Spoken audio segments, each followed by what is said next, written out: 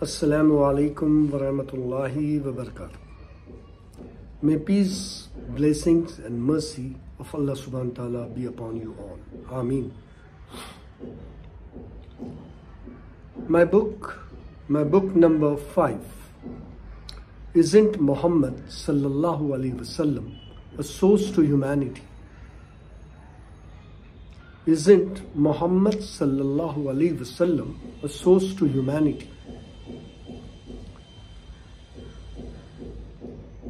Today, we will be going through part number 25. Our beloved Prophet Muhammad sallallahu alaihi wasallam said, Love for humanity what you love for yourself. Love for humanity what you love for yourself. Really, it's a, it's a saying of our beloved Prophet has a depth in it. Isn't he a source to humanity by saying this statement? I think so, yes. Because love for humanity, what you love for yourself.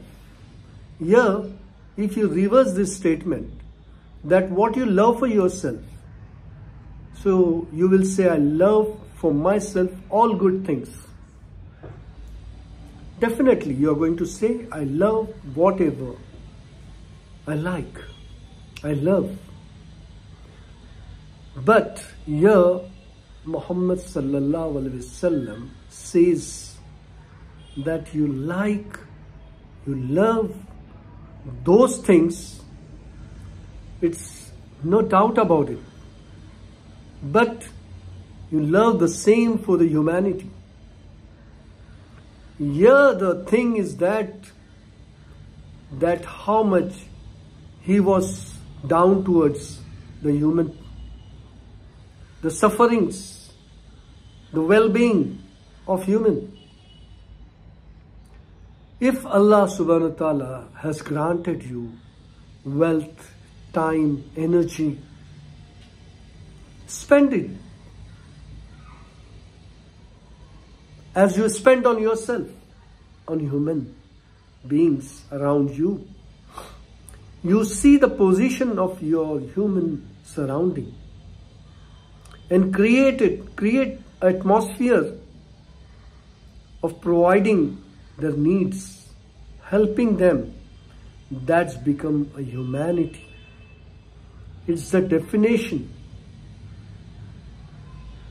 so in this definition, if you see yourself where you stand and analyze yourself that whether I'm a human, but my ways are for, towards humanity or not. So I request everybody and myself too that we have to do all those righteous deeds towards humanity because you try to keep yourself so nice, so peaceful and you like to make your surroundings so nice about why? Because you want to be like that.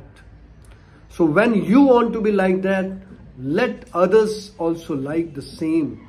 Or you try to get involved and make the situation like that for others as you like for yourself. So our beloved Prophet has taught us so nicely. So we have to promote this. His sayings are to be promoted. His sayings are the source of humanity. We have to obey, promote, follow it. Then only you will become a man of humanity and you will be rewarded here in this world and the world hereafter. Assalamu alaikum wa rahmatullahi wa barakatuh. Thank you. Shukriya. Jazakallah.